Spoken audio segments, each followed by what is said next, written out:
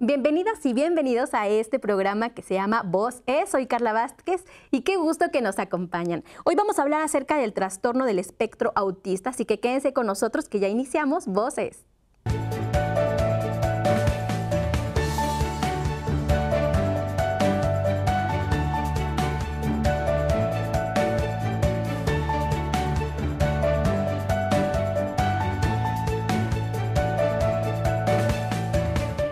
es. decía que hoy aquí en su programa Voz es vamos a hablar acerca del trastorno del espectro autista.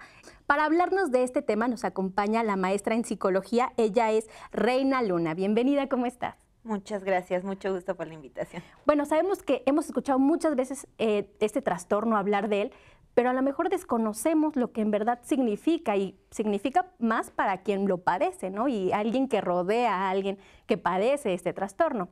Pero me gustaría que nos dijeras qué es el autismo. Mira, como definición, el autismo eh, significa en sí mismo, que, se, que esta persona que, que tiene este padecimiento se retrae o esa idea se tenía.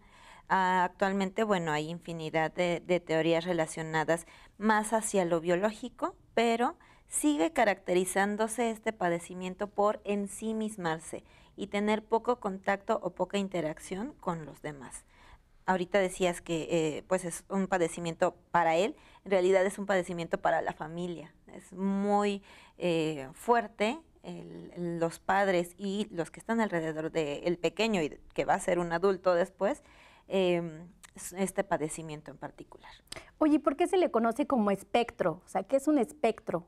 Ah, muy bien. El espectro o esa denominación se le da a partir de un em, manual de trastornos psiquiátricos que se utilizan en las áreas en el área de la salud porque abarca como un abanico una gran cantidad de eh, alteraciones en las áreas sociales por ejemplo de lenguaje de interacción o de comunicación.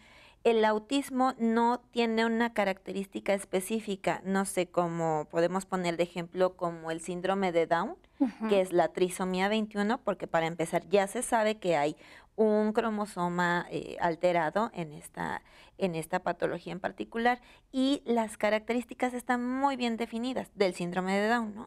fisiológicas, cognitivas, ya está muy preciso. Y en el autismo no sucede de la misma manera. Es tan diverso, es tan grande el abanico de características que pueden o no tener entre un sujeto que tiene esta característica de autismo y otro que no, que no hay uno en específico, sino un gran espectro o un gran abanico. Por ejemplo, he escuchado mucho que se relaciona con el Asperger. ¿Es lo mismo? ¿Tiene una relación? ¿O cómo es esto? ¿Por qué se relaciona además, no? Así es. Dentro de la eh, caracterización del manual que te comentaba, el Asperger entra dentro de este espectro autista de este gran eh, abanico en donde las características no son tan severas como en una persona con un padecimiento de autismo profundo, ¿no? Sí hay eh, adquisición de lenguaje generalmente con las personas con Asperger, pero tienen dificultades en la interacción o en la interpretación de los significados o los dobles sentidos. Nosotros podemos entender perfecto el albur, el doble sentido, los sentidos eh, figurados, y que no son literales. Por ejemplo, si te digo que se te va el avión, de pronto, no quiere decir que viene el avión, literal, se te va un avión, ¿no? Quiere decir que eh, se te olvidan las cosas. Esta frase es difícil de comprender para estos chicos. Por ejemplo. Y uh, se habla que hay niveles, porque una vez me tocó ver a un niño y me decían, ah, es que tiene un grado de autismo. O sea, que es cierto, es sí se puede medir? Sí, hay escalas eh, de diferentes tipos en donde se especifica el grado de severidad o el grado de profundidad de autismo. Si partimos de la idea de que autismo es en sí mismo, el grado de ensimismamiento sería o de poca interacción o contacto con el mundo que, esta, que estas personas tienen. Oye, ya todo esto, ¿se sabe cómo se origina? ¿O, o que, que a lo mejor tú no este, tomaste ácido fólico, que es lo, que siempre se maneja, ¿no? Es que tú como mujer no te cuidaste y por eso, pues tu hijo tiene autismo.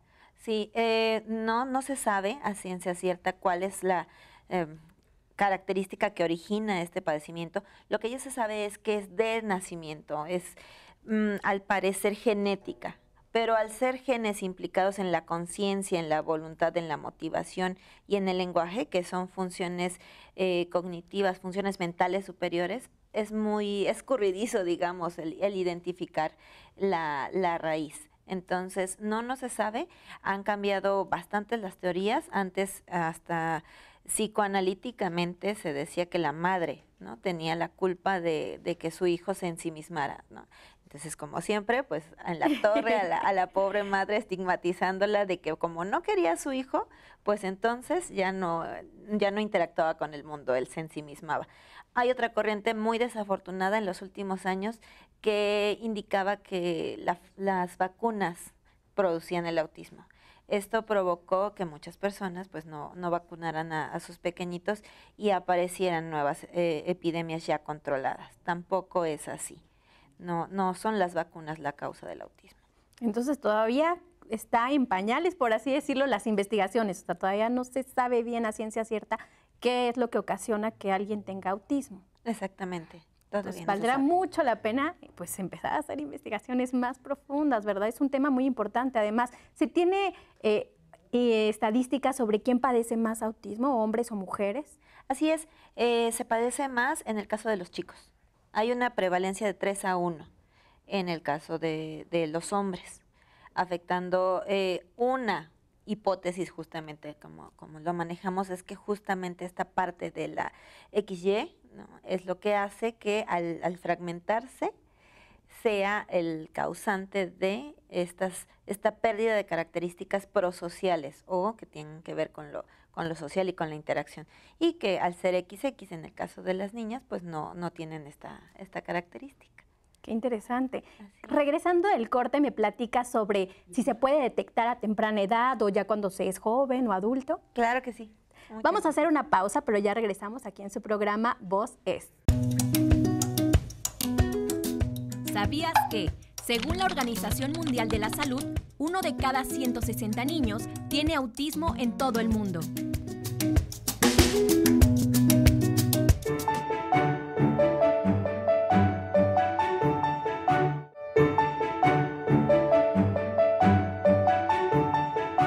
Estamos platicando acerca del espectro autista y para hablarnos de este tema nos acompaña la maestra en psicología, ella es Reina Luna. Y justo eh, se me quedé preguntándote sobre si podemos detectar que nuestro hijo tiene autismo o nuestra hija tiene autismo. O sea, sí como padres lo podemos visualizar antes. Sí, se puede detectar desde pues el inicio, eh, desde muy prematuro, pero a nivel clínico, se puede decir, la mínima edad para detectarlo son los tres meses. Eh, la mínima edad, desafortunadamente, muchas veces son los tres años y después, pues generalmente hasta los seis años. Muchas veces creemos que nuestro pequeñito es calladito, es tranquilo, le gusta solamente una cosa, entonces tiene intereses pues tranquilos y limitados, como no nos da molestias, pues pasa desapercibido por muchos años. Pero podemos detectarlo desde el momento de amamantar a nuestro bebé. Nuestro bebé tendría que vernos a los ojos y nosotros verlo a él. Hay, hay un dato muy curioso que nos indica que la, mirada de, del bebé, de todos cuando nacemos, es de un rango de 15 centímetros máximo. No podemos ver más allá de 15 centímetros y vemos borroso. 15 centímetros justamente es lo máximo que hay, desde la mirada, desde la cara de la mamá hasta el seno. Entonces ya biológicamente estamos predeterminados para ser seres sociales, para nutrir no solamente con el alimento, sino también con la mirada y con las palabras y con las cosas que le vamos diciendo al bebé cuando estamos eh, amamantándolo, cuando estamos alimentándolo. Desde entonces se podría descubrir. Oye, y se puede dar también el caso, por ejemplo, aquí que tú ya lo detectaste, pero normalizas eso y además es la negación, entra la negación de mi hijo está bien, no necesita ayuda, ahorita está en perfectas condiciones, por así decirlo, ¿no? Así es, eh, muchas veces pues es eso, querer normalizar o no querer ver una realidad pues muy muy fuerte, ¿no? Como, como es el autismo. Ya ahora que se conoce mucho más del tema, el que te digan que tu hijo va a tener dificultades para toda su vida en la interacción y que eso, por supuesto, va a dificultar que él interactúe con el mundo, que él se desenvuelva, que él tenga una carrera, todo lo que implica eso, que él te puede decir que te quiere, tan sencillo como eso. Pues sí, quizá bloquea eh, el, el que la madre quiera reconocer, ¿no? Pero también por eso se, se gestionan espacios como este, en donde se sepa más del tema claro. y se rompa ese tabú. El chiste es estar todos informados, ¿no? Para poder apoyar a temprana edad a nuestros hijos. Así es.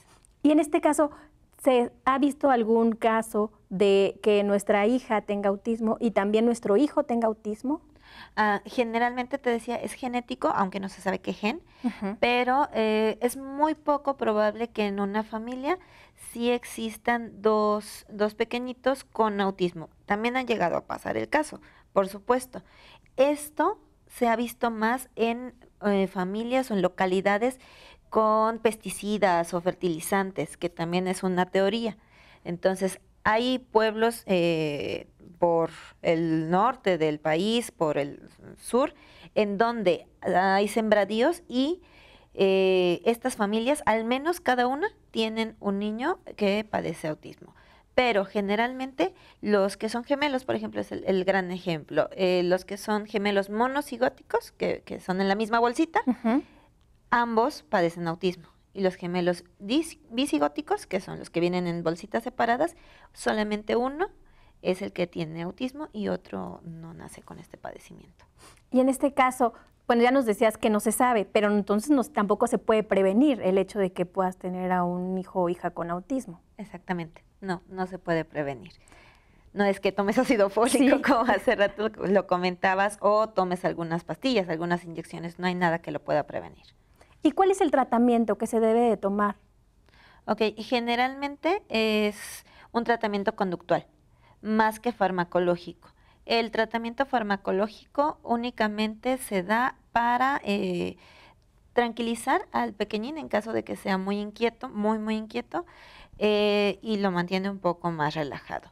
Pero se hace de manera conductual, con tareas más que para él, para los papás para llevar ciertas tareas en casa, que tenga horarios específicos. Los niños con trastorno de sueño también padecen, trastorno del de, de espectro autista también padecen de trastornos del sueño, en un 60 a un 80%.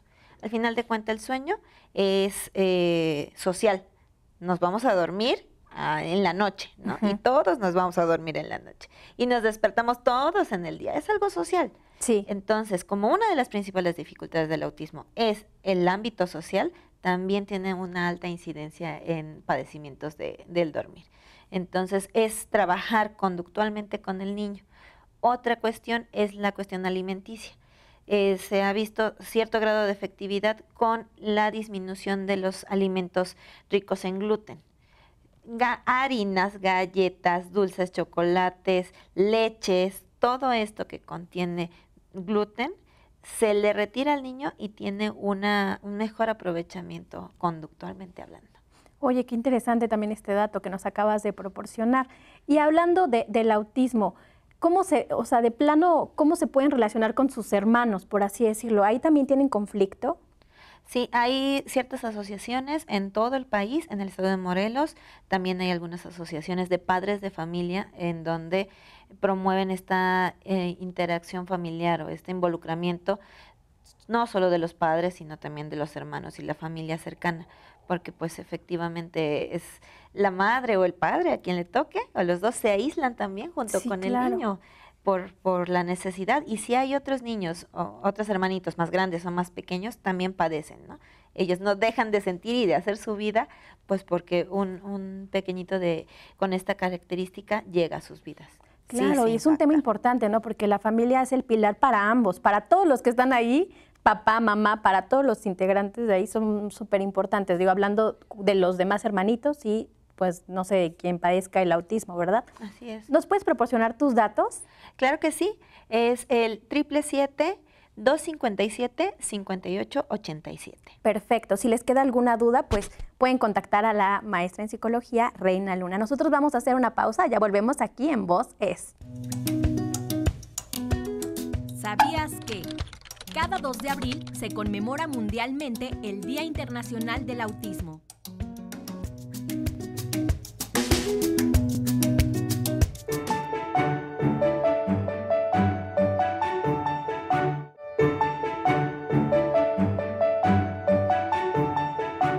Seguimos platicando aquí en su programa Voz es acerca del espectro autista y para platicarnos de este tema nos acompaña aquí en el estudio la maestra en psicología Reina Luna.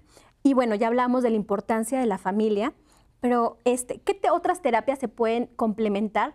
No sé, a lo mejor con la terapia psicológica, que a lo mejor sí es necesaria, pero ¿qué otras terapias se pueden eh, utilizar para el desarrollo de nuestros hijos? Ah, hay eh, terapias asistidas con animales que se ha visto que tienen cierto grado de efectividad. Sí es muy importante aclarar que ninguna terapia ni ningún fármaco hasta el momento hace que se quite esta enfermedad, esta este trastorno, de hecho es un trastorno porque una enfermedad se quita, este trastorno se trata, pero no se quita del todo, en ningún momento.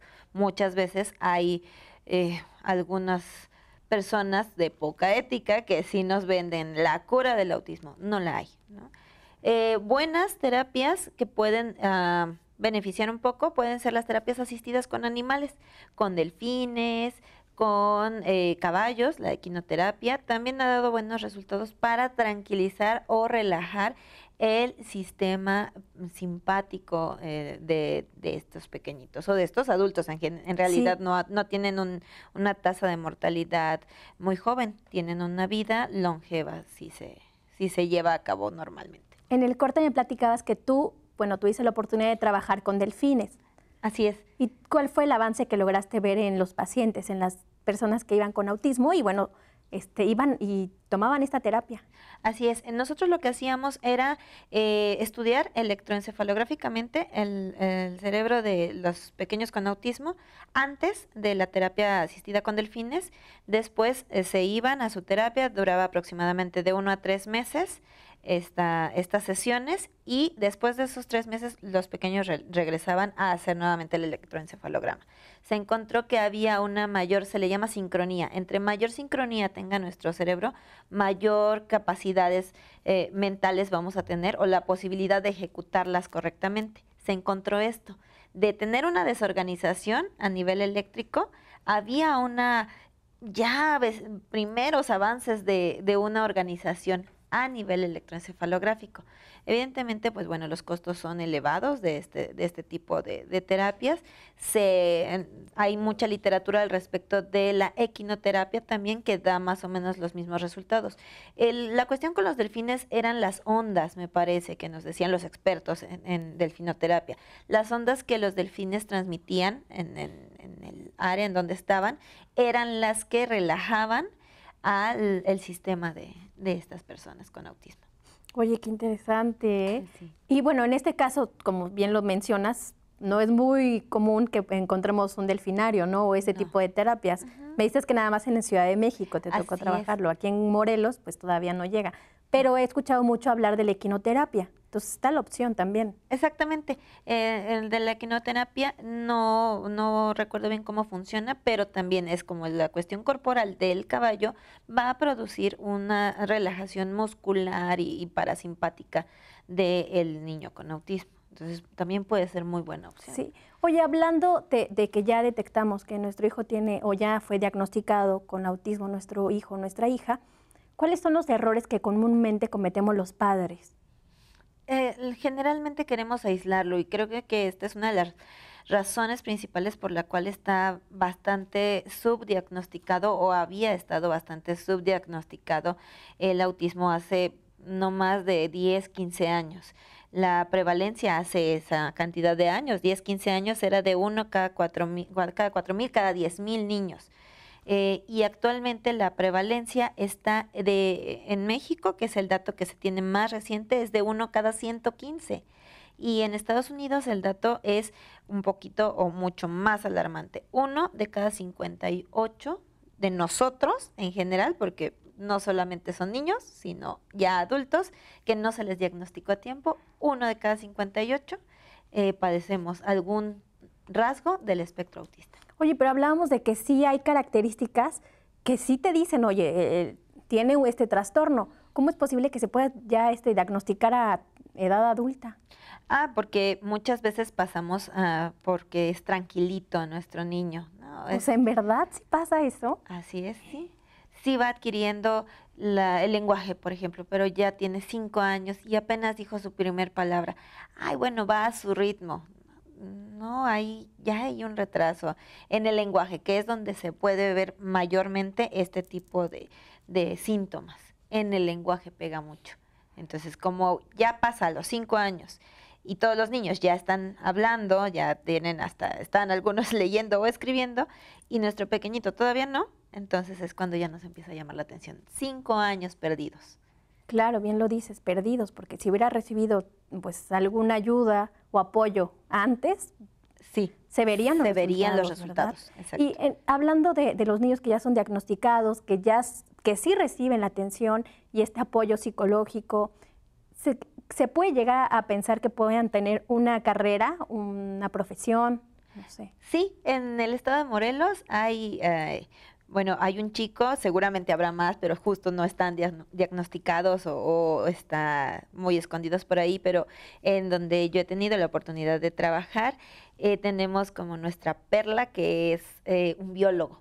Padrísimo. Sí, entonces, si te das cuenta, son carreras muy asociadas no con lo humanístico, sino más con lo, lo biológico, con lo mecánico, con cosas que no tengan que ver propiamente con la interacción humana. Sería muy difícil encontrar quizá en carreras como psicología, como comunicación, ¿no? que tienen que ver directamente una interacción uno a uno con otra persona. Pero biología, perfecto. Claro, y además ellos se sienten muy cómodos ahí desarrollando esto, ¿no? Así Porque es. suelen ser muy inteligentes también. Sí, es un rasgo que, que es muy común que se diga, ¿no? Son niños que sobresalen en algo y que son muy inteligentes.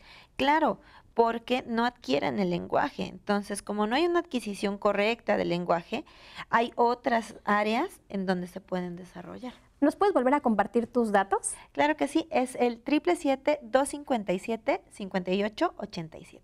Pues ya lo saben, se pueden poner en contacto con ella si tienen alguna duda. Bueno, no me queda más que agradecerte que nos hayas acompañado en esta emisión de Voces. Muchas gracias. Muchas gracias también a usted que nos vio. Soy Carla Vázquez y nos vemos en la próxima emisión.